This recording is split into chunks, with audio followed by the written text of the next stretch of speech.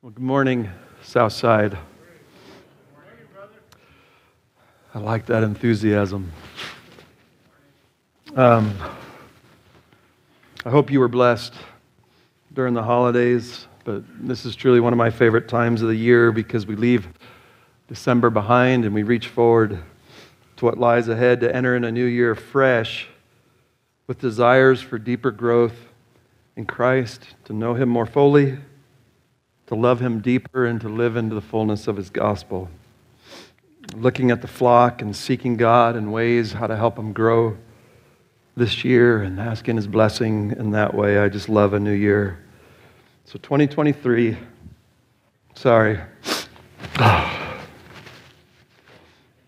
what a beautiful song that was. So I'm excited about where the Lord has us for this season as a church. We're in Romans chapter 12 if you're visiting. So if you'll turn there, we're going to be looking at 30 imperatives of the new life in Christ. God exhorting his children to love and good deeds. How to offer up my body a living sacrifice to him, to study together and to pray and seek the Spirit for transformation, metamorphosis in each one of our lives this year, to walk the highway of holiness together, hand in hand and shoulder to shoulder and shield to shield. And so I want to open with a word of prayer. Before I do, just one quick announcement. Um, the Young Marrieds Community Group is going to be going through Paul David Tripp's material. Uh, one session on marriage over in here and one session on parenting for 10 weeks. I, I think he's one of the best teachers on the subject alive today on the earth. He's gospel centered and grounded in grace, and he will be instructing us through videos. And then um, we'll meet at the church on Thursday evenings. Uh, the videos will start at 6:30 promptly, and then we'll have some discussion and prayer together. Uh, hoping to end at 7:30 for your little babies. I think we had 15 babies born into the church last year. So our, our view of church growth is happy families. Happy families.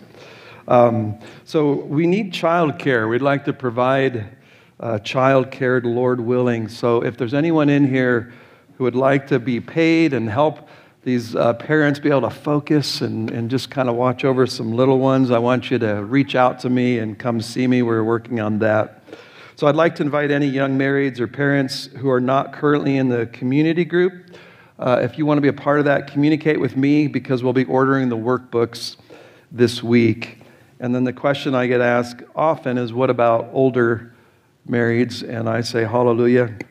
And we're in some of the initial stages of a, a class of how to grow in that. Uh, JD and Cindy Hatter have been led of God to help us journey in that. So I thank God for them. So the infomercial is over.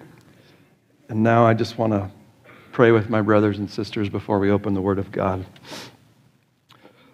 Father, I come before you. And I thank you that we get to worship you now through the Word of God. I thank you for what we look at this morning that has gone deep into my own heart. And I just pray that you'll do that now in my brothers and sisters as we open the Word of God. Lord, you know what every heart needs. And I pray that by your Spirit you would apply this Word perfectly to each heart. Lord, do what only you can do. We rejoice that we have the Holy Spirit who can do those things in each heart now through this word. And so I pray that I would not get in the way at all of what you desire to do in our lives this morning. I pray that you would be worshiped and adored. And it is in Christ's name that we do pray. Amen. Well, Romans chapter 12, we made a big transition from our study for many years on the gospel. And Paul now comes and says, therefore, in light of this glorious gospel, and I told you this morning, I, one of the sweet saints, as she was walking in, just said, How you doing? And she said, I'm doing so good. I was an enemy of God. And through the work of Jesus Christ alone on the cross, He's reconciled me now, and I'm, I'm really, I'm a daughter of God. I'm reconciled, and he intercedes, praying for me that I will make it to the end in glory. And this is, I think she's walked with God for decades. And just the gospel overtaking her heart. And then I walked up to her after Sunday school and said, Thank you for lifting my heart so beautifully. And, and I said, My heart's you know, been worked this week. And she said, Well, what are you preaching on? And, and I told her, verse 9, let love be without hypocrisy. And she just said, You know, I've never, ever been able to do that in my own strength. I've never been able to love without hypocrisy. Without Jesus, I'm all hypocrisy. And just the, the joy of to say, only God can do this. And that's why there's a therefore, because this is only for the children of God who know this gospel, live into it, and believe it, that this is now what, where God is going to lead us as the children of God. And so that's where we will go this morning. We want to offer up our bodies a living sacrifice to God. God, here's my life. Let it be consecrated, Lord, to Thee. I don't want to be conformed to this world, which everything about this world is hypocritical love. I, I don't want to be like this world. But I want to be transformed by the renewing of my mind and truth. I want to be metamorphosed from the inside to the out to become a man who loves without hypocrisy like Jesus Christ who perfectly did that when he walked this earth. And so this morning, then, we, we, we looked at the, the body of Christ, that we enter into it. We're, we're unified in him, we're one. We don't come in with high mindedness about ourselves. We come in in humility, we wash feet, and we use our gifts to help each other grow up into the head. And now Paul's going to transition this morning into verse 9, and he's going to say, Let love be without hypocrisy. And so we begin verses 9 through 21, and again with these 30 imperatives. And before I begin, I just want to prepare our hearts for the section that we're going to journey together as a church. And my question to you is what do you do with a section like this, with these bullets and imperatives and commands that are going to come at us in rapid fire? Do you just have a quiet time and you, you read them? I, I timed it. It takes about a minute to read them, and you kind of read them and you just get up and your life is transformed. I hear a few chuckles because I think you're like me, and, and it doesn't work that way. All of a sudden, those ethics and virtues just flow out of my life. Thanks, Paul. That's all I needed. I'm ready to go. But in my personal experience in shepherding the flock of God, it just doesn't seem to work like that. And since getting COVID, if I can remember one of these imperatives after reading them all, that's a good day for me. And so I kind of pull out, I'm saying, Paul, why do you, what are you writing? What do you want the people of God now to do with Romans 12? How do you want to help us? I want to offer up my body a living sacrifice, and these commands are, are a part of that. So, how does this help me give a whole souled offering to God? How will this section help me? Because you know by now, some of you at least, I'm not a big fan of lists. And I, I, I know a couple of my elders have always been like, you, you got to get over that issue. And the reason is because I, I used lists wrongly, and I've shepherded people who use lists wrongly. So quickly, we, we, we, we just get back into it. It's your new 10 commandments, and you, I'm going to check this off, I'm going to do this, I'm going to do that, and that isn't going to get you to holiness. The Holy Spirit, though, gives them throughout scriptures. So I got to get over my list issue because God gives lists. So the problem can't be lists. It's what my flesh likes to do with them, is what the problem is. And so I'm trying to head you off at the past and not do what I do. And so my question is, is how does God want to use these lists in Romans 12? What's your purpose? Which will only be for our good and for others and for transformation and worship of God. So don't run from lists, at least biblical lists. Run from this is what I'm looking for in a spouse that's 10 pages long. Throw those away. But let me try to help as we begin this list. I want to shepherd you into the joy and the delight of God's lists and the transformation that can come from them. And so I want to come back into the context. I want to spend some time this morning because we're going to flow through this for months.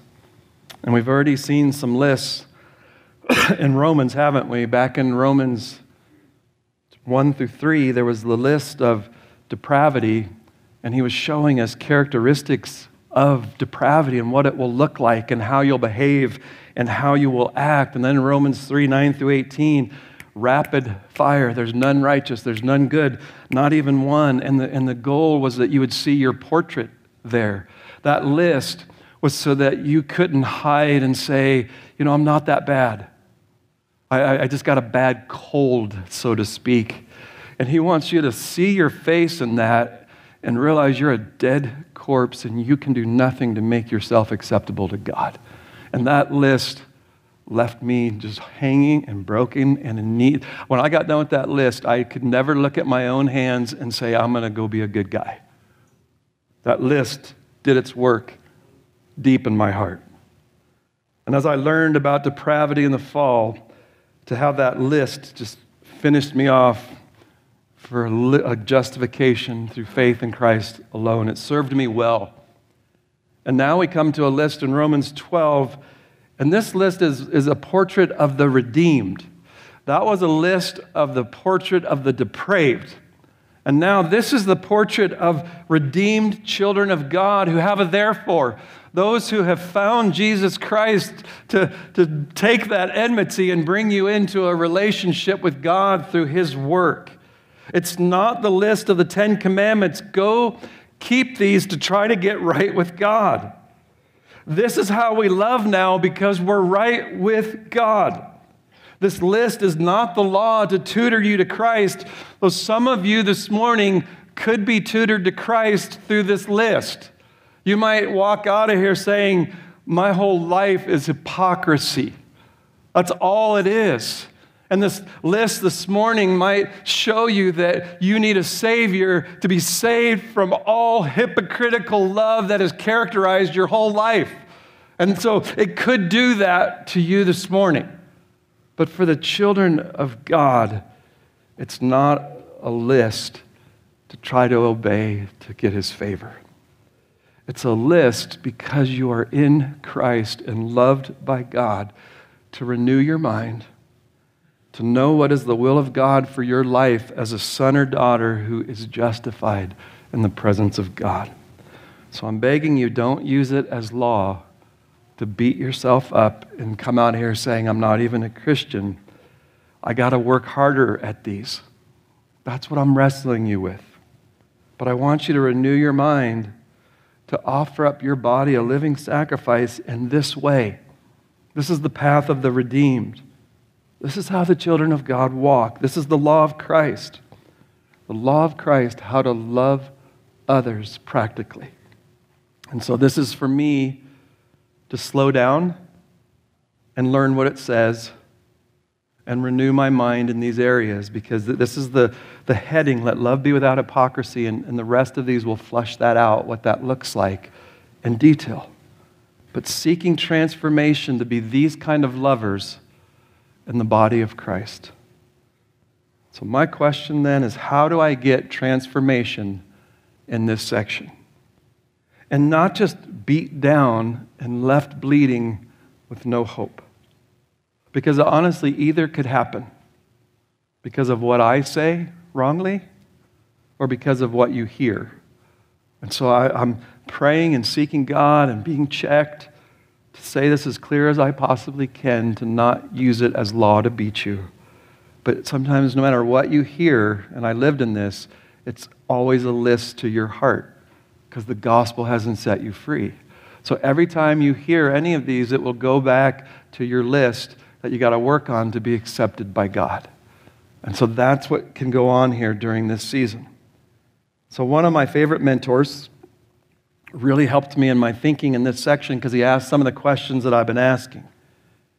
And he said, let's, let's um, let Paul answer this question for us. Isn't that probably a good place to go instead of anywhere else? Paul, what, why are you, what are you doing this for? What do you want us to get from it? And if you flip over to Romans 15, I think he tells us at the end of it what we need to get from this. And I want you to look at Romans 15 15. Paul says, I've written very boldly to you on some points. Yes, he has. So as to remind you again, because of the grace that was given to me from God, to be a minister of Christ Jesus to the Gentiles, ministering as a priest the gospel of God, God's gospel, so that my offering of the Gentiles may become acceptable, sanctified by the Holy Spirit. And so, what I see going on here is this, there's only one way that you'll ever get change, Paul's saying. And in verse 15, he says it was the Word. And so, the Word of God is, is, is, is what we need. And he's been saying you need to renew your mind in it. But I want you to hear this. This might shake some of you, but the Word of God alone changes nobody. And I'll raise my hand and testify when I just look at the Word in Romans 12 and try to go live it, I fail every time. You, the Word of God alone will not cause the metamorphosis that we're looking for in our lives, in our walk with God. And the second thing he said in verse 16 then is the Spirit of God. The Spirit is the one who will change you, but catch this, through His Word. He's going to use Romans 12, the Word of God, by the Spirit to transform and change us and, and to make it not be a list that you read and just say, that's nice, but you begin to start looking like this list. And so we need both. We need to linger over these words and we're going to try to understand each one of them as we journey. We got to get the word in our minds and all of us be praying, Holy Spirit, change me. This morning, I want everyone praying, let me love without hypocrisy, Holy Spirit. Say, when I do it on my own, nothing has ever come out of it. Holy Spirit, as I understand this word this morning, change me and renew me and make me like this so that I can be an acceptable offering to you. So, what could happen in these next months um, gets me out of bed excited for what God can do in our lives and in our hearts. I don't want to run out of time, but I asked another sweet lady before how she's doing. She said, I turn 80 and I'm doing good because God is so good. She said, I've learned that in the hard things He brings into my life and in the good things, He's beautiful, He's worthy of praise, He's worthy to be worshiped, and all I want to do is love. And I was like, man, that's the kind of stuff. You, you, you can go home. You don't even need to listen to Romans 12, sweetheart. But everything that I want us to become, that's who she is. Thank you. And so let's go to the list in Romans 12. Augustine said this Lord, command what thou wilt, and grant what thou commandest. And so I'm going to show you in Romans 12 what he commands. I want to look to God and say, Will you grant to me what you command in the gospel of Jesus Christ? May God grant it to every believing heart now as we journey. Let's dig in. After I pray. Father, I thank you for 2022. God, your mercies were new every morning. Your grace was sufficient. And I watched you meet so many in this body in mighty, powerful ways in their trials and in their sufferings and their unbelief and difficulties and all the things that they battled. God, we join in one voice and one heart and we praise you. You were so faithful to us. God, we love you. We thank you for this gospel that has made us acceptable to you and we are loved by you. And so I just thank you for all that you did in 2022. And Lord, as we lift our eyes and look forward to a new year, Lord, every one of us have this burning desire. I want to offer up my body a living, pleasing sacrifice to you. And I want to be metamorphosed.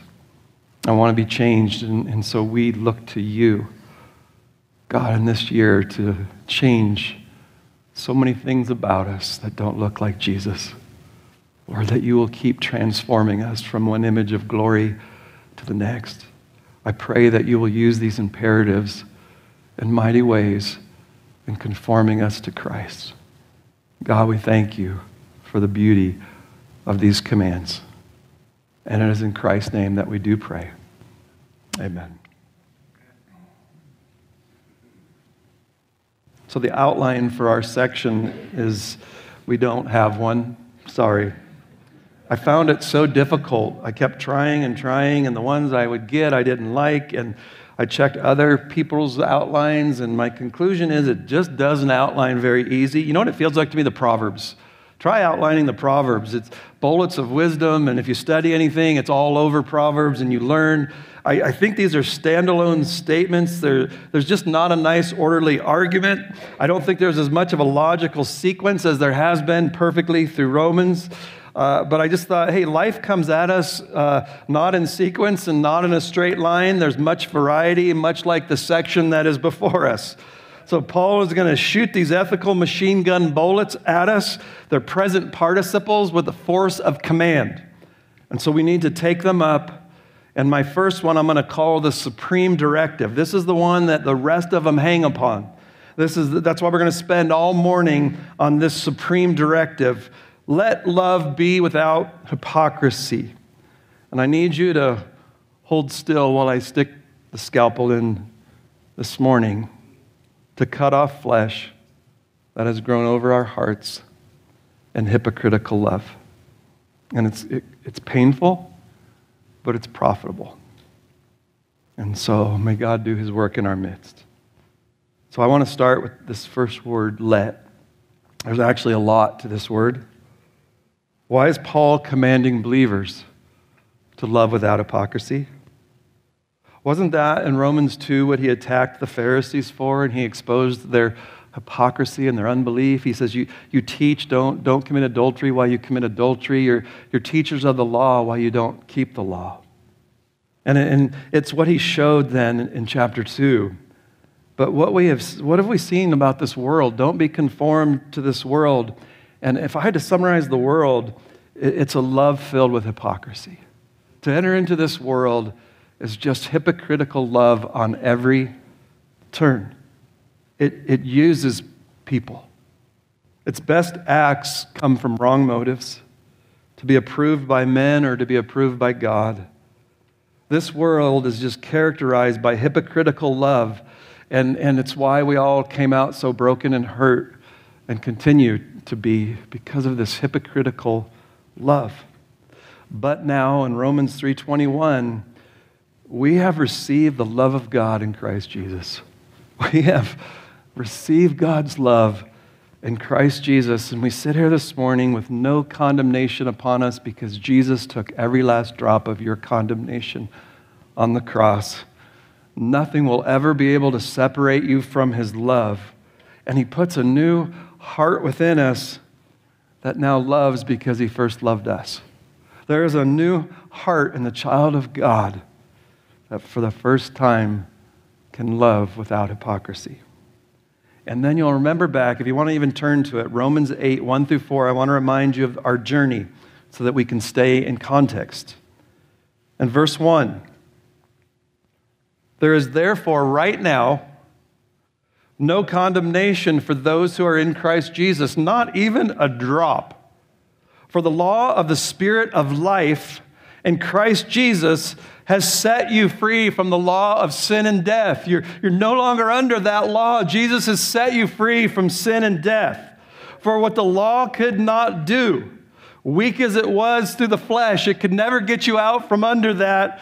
So God did it, sending his own son in the likeness of sinful flesh and in, as an offering for sin on the cross God condemned sin, my sin, in the flesh of his son. And here's the hina clause for the purpose of what?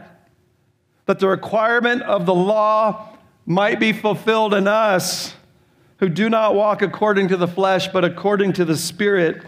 And to go back to that when we studied it is now for the first time I can love without hypocrisy. I can keep the requirement of the law, which was to love God with all your heart, mind, soul, and strength, and your neighbor as yourself. By that work on the cross and the gospel, I can be set free to love for the first time. We can keep that part of the law to love God and to love others from the heart.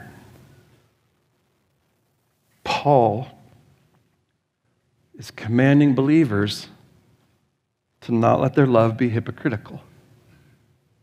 And I think this is big because Romans 7, and my understanding, was Paul battling flesh as a mature child of God, saying, The good I want to do, I don't. The things I hate, I keep doing. O wretched man that I am, who will set me free from the body of this death? That we said sin was no longer reigning, but it, it remains. And so, all that hypocritical love that characterized us in our flesh is still, it, it remains, and it needs to be put to death by the Spirit. But I want you to hear this I have remaining sin that loves hypocritically in my heart this morning. I hate it. We need to be exhorted in this because we're so prone to it in our flesh. One of our greatest battles to love hypocritically.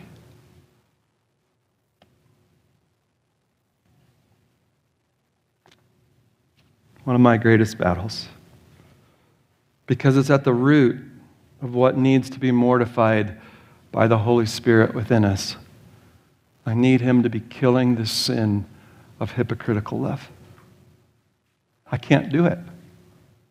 I need the Spirit of God as I believe this gospel to be putting this to death in my heart. Philippians 1 9, Paul said, I, This I pray, that your love may abound still more and more in real knowledge and all discernment, so you can approve the things that are excellent, so you can be sincere and blameless until the day of Christ Paul says, I pray that you're going to grow in real knowledge, epignosis, full knowledge, and discernment.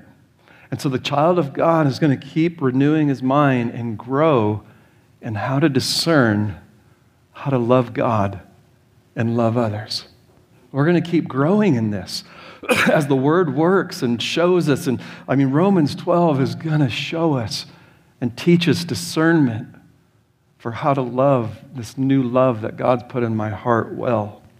And so, guys, I renew my mind, and my love abounds still more and more. When I got married to my wife almost 34 years ago, there was a genuine love for her. And what I've learned in 34 years is more and more how to love her. And I, I stunk at it. And just, it wasn't because I didn't love her, I didn't know how. And as the Spirit of God and the Word keeps teaching me and experience, I'm learning new things that I, I did not even know how to love her back then. And so you're, you're growing in real discernment and knowledge and how to love one another. And so that's it. And, and shepherding, when we started this church, there was such a love for this body. And I didn't know how to love it. I had to keep growing and learning. And I stand here today saying, I'm still trying to learn how to love and shepherd this body. God keeps teaching me, and I'm learning, and I'm, I, want to, I want to be so much better and improved, my love abounding more and more. But I just want you to see you keep growing and you keep learning how to love the way God loves. And here's Romans 12 saying, Here's how I want you to love. Renew your minds and seek the Spirit of God to become these kind of men, women, and children. And I will die in Romans 7 that I'll, the last breath I breathe, I'm still going to have hypocritical love in this body. And that is just, I hate it. I just do. I hate it. And I'm asking God to remove it and in every one of you that He would do that work in Southside Bible Church. And so the Word of God, this gospel, keeps growing in my mind and my heart. And I'm working it out in different ways in my thinking and in my attitudes. Teach me how to love. Renew my mind in the Word, believing this gospel for the metamorphosis that will be agape for God and for others. Amen? I'm going to go home. No way. no way. Um, uh, that's, that was our first word, let. Our second word is love. Let love. What Greek word do you think it is? Agape. Hey, Tom. Agape. It's important. This is the word that is used to describe God's love for us. It's the word used to describe Christ's love by dying on a cross for us. And so there's different Greek words for love. One is eros, and it's seeing something attractive and desiring it. Philos is a brotherly love. It's kind of this bond and common interest that we have, and we're to have that for one another. Storge is a natural affection, like blood ties and family, a father, a son. But this is agape. A commentator Lenski said it's a love that comprehends its purposes, it purposes to act of the will to do all that it can for the object. And so it, it's, it's informed, it understands, and it, it says, I'm going to act for this object for its good, no matter what I get in return. No matter what I get in return, the love of God was that way to me. And that's what agape is. It, it, it, can only come from God. Human beings will never be able to produce agape. That's why the law tutors you to Christ, because it demands agape. And no one will ever be able to give it. It is God's love. And it must flow then through His Holy Spirit if it will ever flow into our lives to others. It doesn't consider itself, it's a self giving love. It doesn't seek its own satisfaction. It strives for the highest good of the other. It seeks no return. It doesn't give to get. It, it is just, I want you to hear this. It's simply concerned with giving. The focus is bettering its object rather than enriching itself. So, do you see why it was reserved only for God's love to, to us and to Christ? Yet, this is what the believer has been saved into.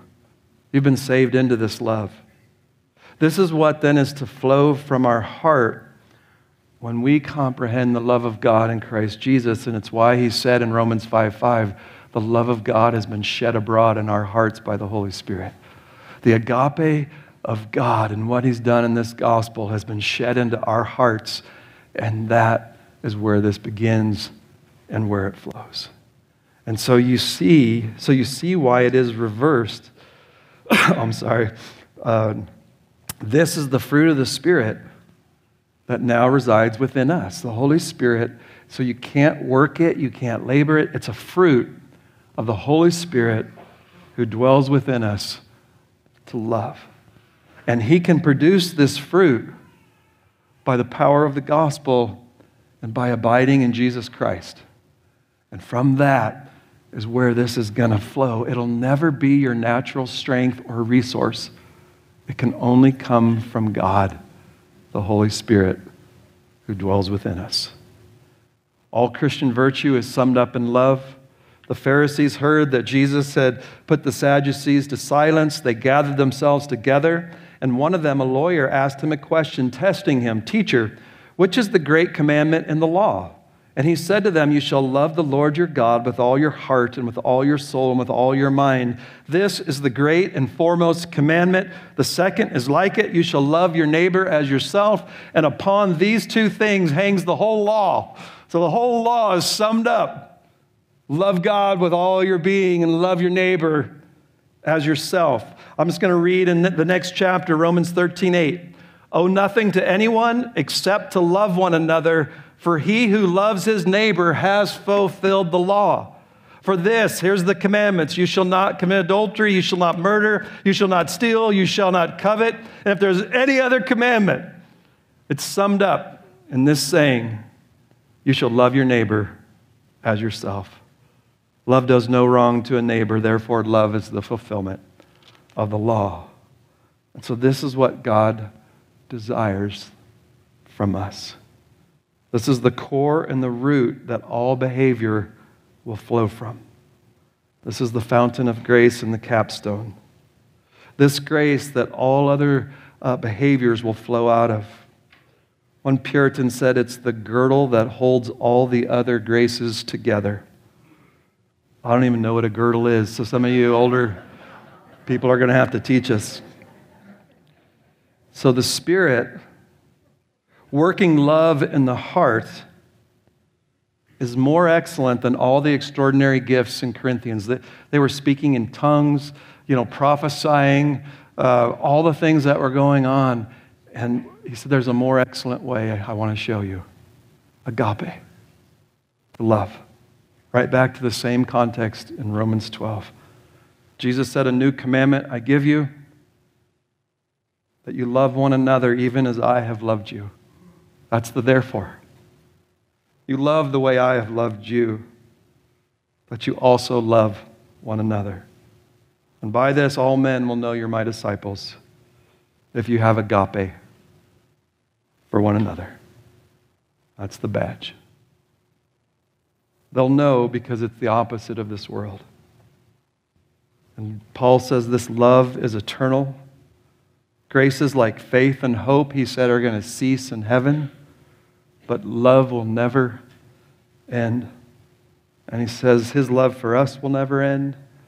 And in 1 Corinthians 13, our own love never fails. Whatever comes up against it, love has to triumph. So, my question to you this morning how can anyone have agape? How can anyone ever fulfill the law of God? And Romans 3:19 through 22 we were taught that the law comes and it says to love God and love your neighbor as yourself, and no one will ever be able to keep it. No one will ever be able to do that. If you're here trying to do that, I've got great hope for you.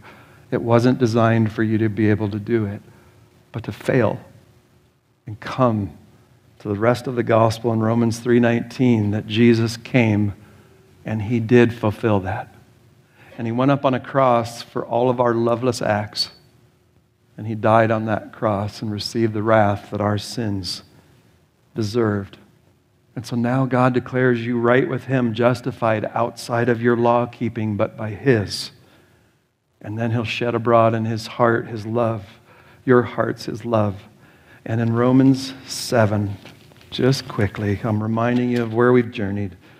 In verse 4, therefore, my brethren, you were made to die to the law through the body of Christ. And if you die to the law, how are you not going to just be lawless? You must die to the law so that you might be joined to another, the Lord Jesus Christ, to him who was raised from the dead, in order that we might bear fruit for God. And so, if I'm ever going to bear fruit for God, I die to the law. I die to myself trying to be good enough to earn his favor. I just believe the bare gospel that he did it all. And this salvation is free, it's of grace, it can't be taken away. It makes me right with God. I finish that, and I'm joined to another. I'm married to Jesus, and this marriage will produce fruit. A fruit called love will come from that relationship. So, Ten Commandments, doesn't produce love. You know what it actually produces? Lovelessness. It makes you a Pharisee, it makes you judgmental, it makes you just sad and angry because you can't measure up. It produces lovelessness. So you must die to the law. God's done it all. It's finished. Be joined to Jesus in this beautiful love relationship. And the fruit that comes from that relationship is called love.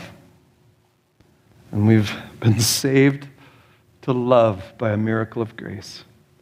And I'm going to use this illustration. I've used it before um, from kind of a famous preacher, but I, I find if I say people's names anymore, it flips everybody. So, just a great preacher. and it's not original with me. And his summary of that, he says, I want you to picture a house, and this house has a front door and a back door. And he says that when you come inside the house, it's just a whole treasure of love. It's how Jesus loved. He loved God with his heart, mind, soul, and strength, his neighbor as himself. That's what's inside this house, just love. And the question is, how do I get into it? I, I want to enter into that house. And so you come to the front door, and there's a padlock on the front door. And he says, so you walk up to it, and one click to the left, thou shalt not covet. One click to the left, thou shalt not steal. Thou shalt not commit adultery. Thou shalt not lie. And he says, no one has ever gotten through that door. You come to it and you die at that door every time. That won't get you into the love that we're looking at this morning. Law, works, they're not going to get into this house. The commandments can't get you in there. But there's a back door, and you must die to the front door where you quit trying to get in through your works. And that door is Jesus Christ came into the world and he died on a cross for your sins. And he was buried on the third day. He was raised again to show that he won the victory and death has been defeated and your sin has been conquered. Romans 1 through 11. And now he takes you and he carries you in through the back door. And you have to love him and trust him and believe in him. And he carries you into that house where love is. So, by being in his arms and united to Jesus, you enter into that house and you experience what love is the fulfillment of the law. And so, we must be attached to a person and not a list. You don't walk in and say, Thank you, Jesus, you brought me into this house, and now I get to just run and love and just, I got it. It's going to be by abiding in Him, believing the gospel, growing in the gospel, walking with Him, communing with Him. I, I, can't go do this on my own. He brings me in, but it's by being in relationship with Him that this love will ever spring up. And so you can't leave Jesus and the gospel as believers if you ever want this love. You, you believe and you abide, you stay with Him. You grow in this gospel, and, and organically, this love bubbles up. You never get over how you got in. That door cost Jesus Christ his life in bearing the wrath of God for me. That caused him to leave heaven and be incarnated into a baby and be rejected and hated. I can't get over the door. And that, by abiding in him, produces the love that we're going to look at. And by this, you wind up fulfilling the law by being in relationship to Jesus Christ. And so you can't leave him at the door. And so let me give you 30 commands of Romans 12 who are in this house, loved by God and accepted, and wanting to stay and abiding with Jesus, that the Spirit might bear this kind of fruit in our lives. Why do I bring this all up again? Because love is what God wants from us. The fruit of our salvation is that we can love now in Romans 8. You can love for the first time and you can grow in it. What blessed freedom. Thank you for letting me grow and learning how to love you. And Laura, for learning how to love you. Thank you.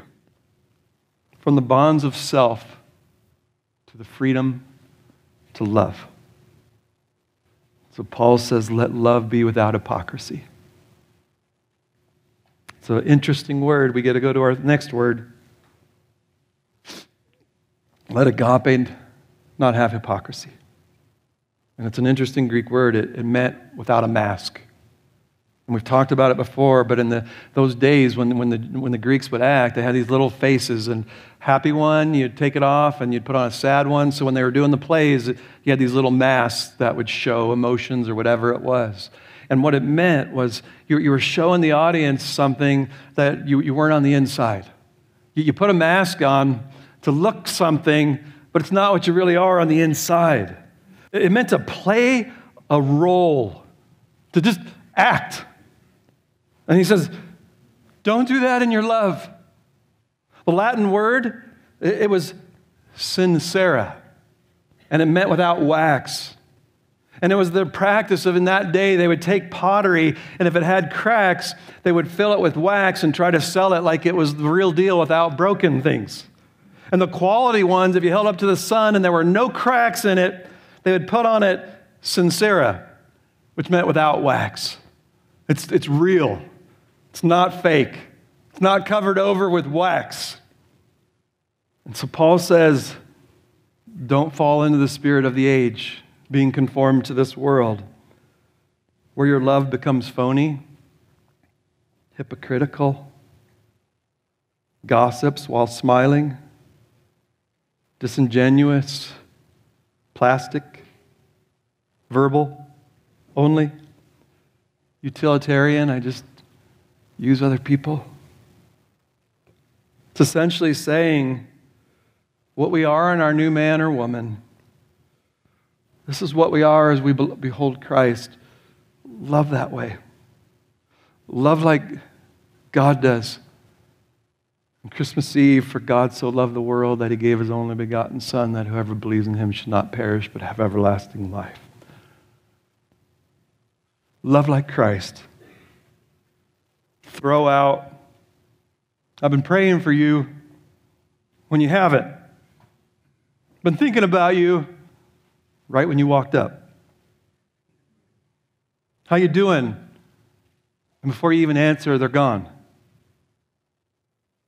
One that I've been wanting to talk to you about for 24 years. Interrupting one another. When we're talking, don't serve, complain the whole time. I'm throwing out examples so you can understand possibilities of your heart. Hospitality, where you're put out because they got food on your carpet. Love only the pretty people, them with power, influence, where you can get a benefit from them. Love as a Pharisee, trying to be approved by God, trying to be approved by others. Let your love be sincere, without wax, heartfelt. Peter says, Since you have, in obedience to the truth, purified your souls for a sincere love of the brethren, fervently love one another from the heart. So don't give actor kind of love, is what he's saying. Are you with me? This is the one who has been saved and joined to Christ. And your heart has been melted now to love people. And I just want to express the love that Christ has given to me. For remaining sin, fighting this command. It will just be a love that wants to give. Paul says this love is patient, love is kind. It's not jealous, it does not brag, it's not arrogant, it does not act unbecomingly, it doesn't seek its own, it's not provoked. It doesn't take into account a wrong suffered. It does not rejoice in unrighteousness, but it rejoices with the truth. It bears all things, anything that comes up against it. It believes all things in one another. It hopes all things and it endures all things. And he says, love never fails. That the agape love, it can't die. So Paul says, let's get on with genuine, sincere love of the brethren and put off the phony baloney. And I got a bunch of examples, but I'm running out of time. Do you want metamorphosis or a mask? I want to love without hypocrisy versus faking it. My question all week is why does the hypocrite do this? And in your community groups this week, maybe talk about it. And if you battle this deeply, I want you to ask your group to pray for you. And they won't kick you out. And you can be honest and say, This is where I struggle. This is where your pastor struggles. We have so much hope to mortify this by the Spirit within us, by faith, believing the gospel, to start putting to death this hypocritical love that still resides in the believer's heart. But this imperative comes at me and it wakes me up from growing numb in hypocritical love and getting used to it and familiar with it. And it just comes and it just pierces because all I want to do is return, just the way He's loved me. I want to love that way. And it just came and it cut flesh off my heart. Thank you, God. So I'm going to close out with just a couple questions. Can anyone stand up to this command? And so I need to always remind you there is one who did love perfectly. He's the only one who ever walked this earth. There was never even an ounce of hypocrisy in the way that Jesus loved. He did come and fulfill that law so that what God required was that, so we could have that put to our account and we could stand in the presence of God.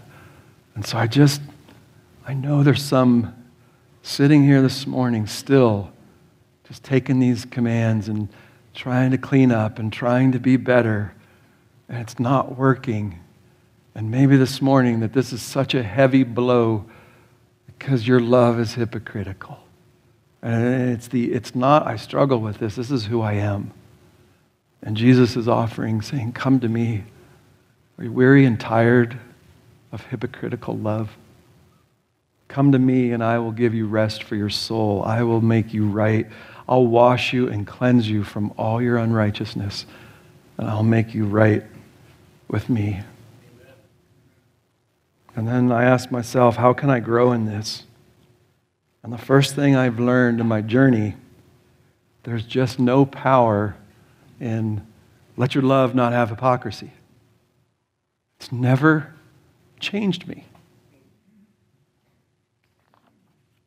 How do I grow in this? And Romans 7 told us you have a new marriage. Love your bridegroom.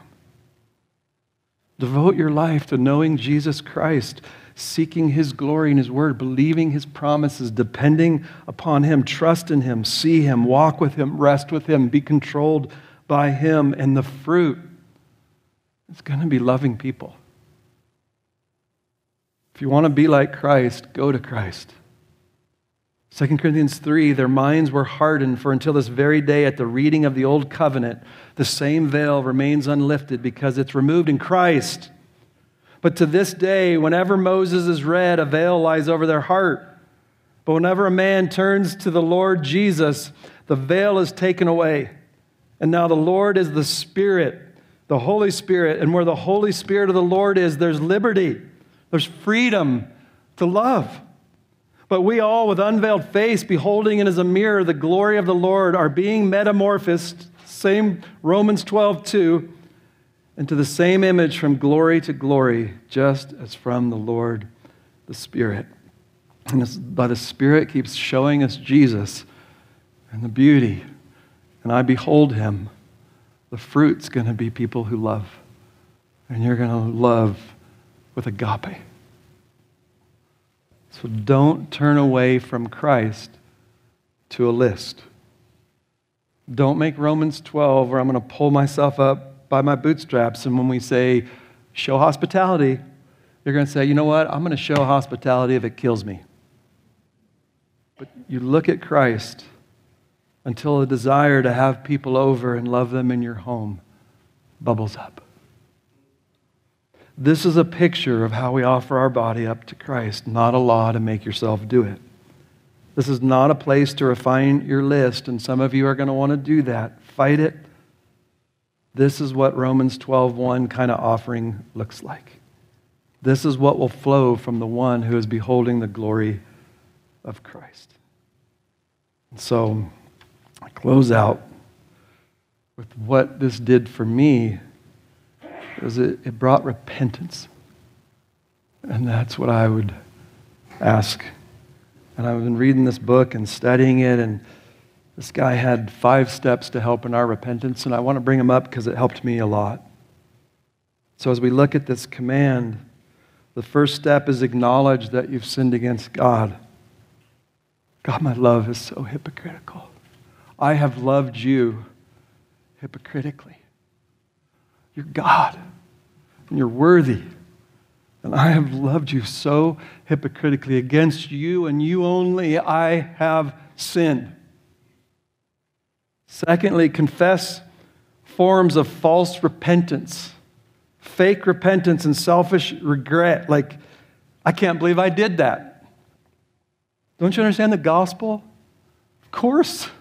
I, I know why I did it. I'm rotten the core of my heart. I love what you said is apart from Jesus, I will always love with hypocrisy. Of course I am. And don't say, I'm going to work on it. I'm going to get, I'm going to get better at this. That's a false repentance because you can't.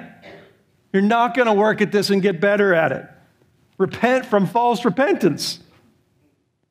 And then discern and repent the underlying heart motivations that drive you to that sin. And I think this could be one of the hardest things that take the most time is don't just say, I'm sorry that I said something so that someone would approve me. Instead of, why? Why am I so empty?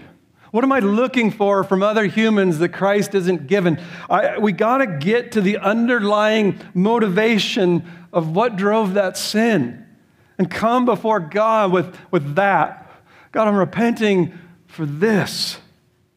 And then, number four, receive God's forgiveness by faith because of the work of Jesus Christ and that you're not under law, but you're under grace. So, some of you run around saying, I don't want to abuse grace, and your problem is you won't use grace. You, you won't be forgiven by, if you confess your sins, He's faithful and just to cleanse you of all your unrighteousness. I've got to come now. I believe mercy for everyone I share and talk with, except when I sin. And by faith, I believe that His blood has washed away my sin and cleansed me and restored me back into fellowship with God. Believe. And then, fifthly, where we stop, rely upon God's power to turn away from this sin by faith, to purify our love. Not, I'm going to work harder. Holy Spirit of God, I need you to purify me as I believe this gospel and live. I need you give me power to quit loving with hypocrisy. My strength has never been able to slay that giant. But the Holy Spirit of God can start killing hypocritical love by faith in Jesus Christ. And so, my prayer is that as a body, our love would be purified for Him and for each other.